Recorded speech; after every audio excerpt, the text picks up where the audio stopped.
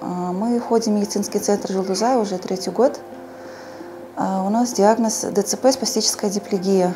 А, в том году, благодаря благотворительному фонду Био Желтузай, мы смогли приобрести препарат СВОШ, который э, корректирует и укрепляет э, мышцы при ходьбе, сидении, ползании ребенка. Да, в обычной жизни Орлан обычно раньше он либо лежал, либо просто сидел.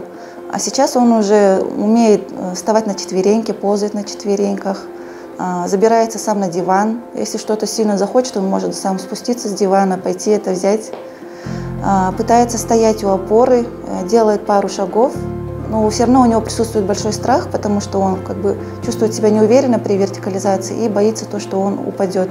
Поэтому этот страх его немножко сковывает и как бы блокирует его дальнейшее развитие. Орланчик с каждым годом становится все крепче, все увереннее держится на ногах, очень хорошо разговаривает, а, очень хорошо а, общается со сверстниками, с взрослыми, с преподавателями. Благодаря занятиям ЛФК, которые мы непрерывно на протяжении круглого года ведем, а, сразу заметно то, что стало больше мышечной силы, то есть у него укрепились мышцы спины, снизился тонус и спастика нижних конечностей, то есть он стал меньше перекрещивать ноги при ходьбе, а, уменьшилось а, напряжение.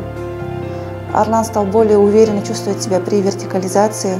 Это все благодаря нашим инструкторам, а именно Тимуру. Большое ему спасибо за это.